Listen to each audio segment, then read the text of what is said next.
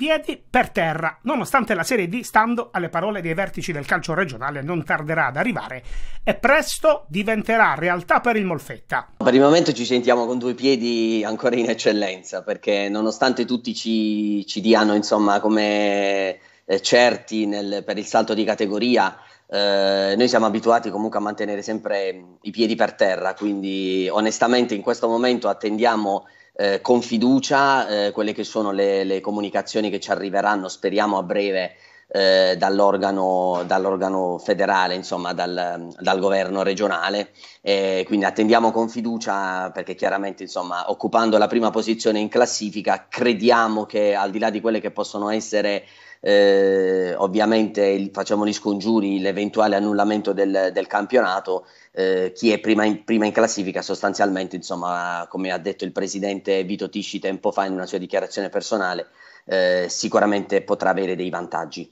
Festa in ogni caso sarà festa per la vittoria del campionato di eccellenza biancorossi primi in classifica al momento della sospensione, con 6 punti di vantaggio sul Corato. La festa, quando arriverà l'ufficialità, sarà gioco forza però diversa da quelle tradizionali per una promozione. Bisognerà inventarsi qualcosa di alternativo e rispettare soprattutto le norme anticontagio. Dobbiamo pensare ad una, ad una festa con nessun tipo di assembramento e farebbe da contraltare invece a quello che che l'entusiasmo che mh, è diventato un entusiasmo contagio- contagioso eh, perché siamo partiti dall'inizio all'inizio del campionato dove c'era un po' di, di titubanza, un po' di, di, c'era qualche dubbio e c'era un entusiasmo eh, che vedeva la piazza insomma